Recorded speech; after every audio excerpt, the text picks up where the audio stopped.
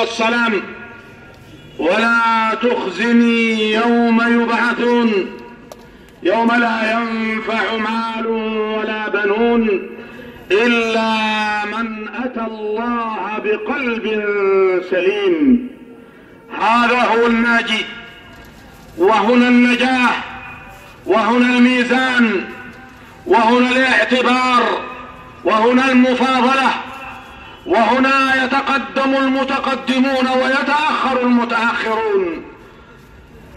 يوم لا ينفع مال ولا بنون إلا من أتى الله بقلب سليم.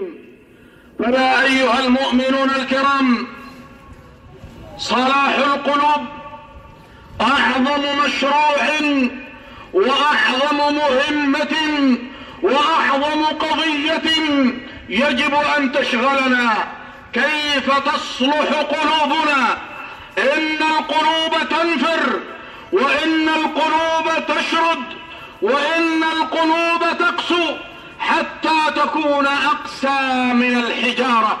يقول ربنا جل وعلا ثم قست قلوبكم من بعد ذلك فهي كالحجارة أو أشد قسوة. وإن من الحجارة لما يتفجر منه الأنهار وإن منها لما يشقق فيخرج منه الماء وإن منها لما يهبط من خشية الله.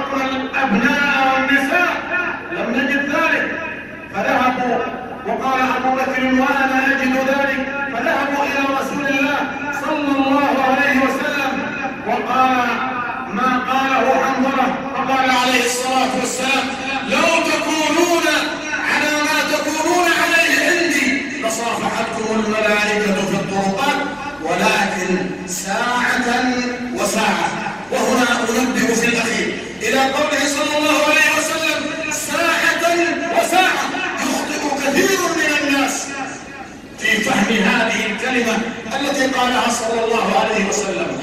النبي عليه الصلاة والسلام يقصد ساعة وساعة. ساعة تكونون عندي في حلقات العلم والذكر وساعة تكونون عند أبنائكم وأهليكم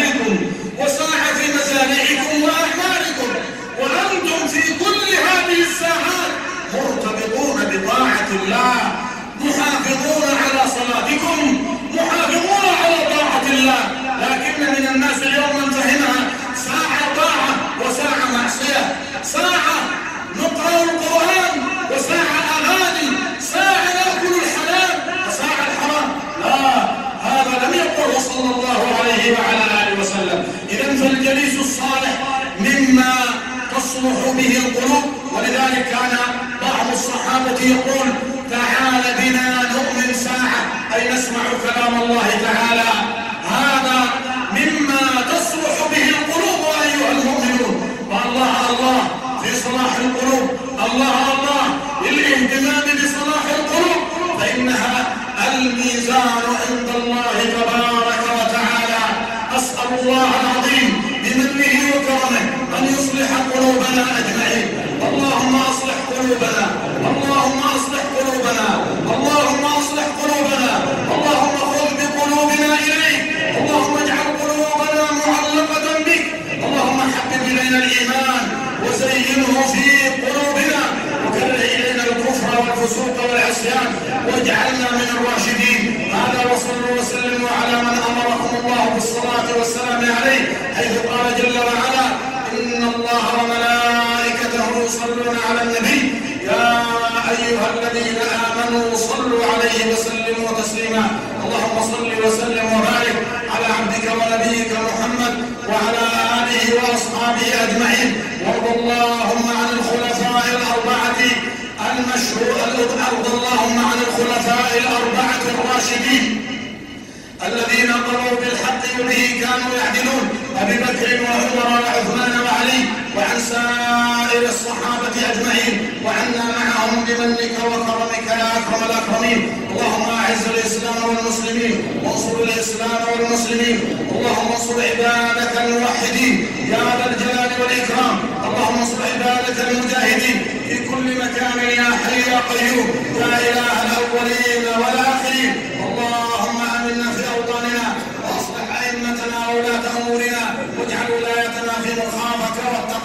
واتبع رضاك يا رب العالمين.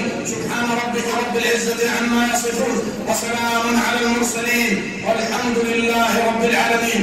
انبه في الأخير إلى أنه ذكر لي حفظ الله الجميع أن من الإخوة من يصلي في الخارج أمام الامام ونقول لهؤلاء الإخوة لا يصح لكم أن تتقدموا الإمام بارك الله فيكم. بل تأخروا عن الإمام وفق الله الجميع لما يحب ويرضى. الصلاة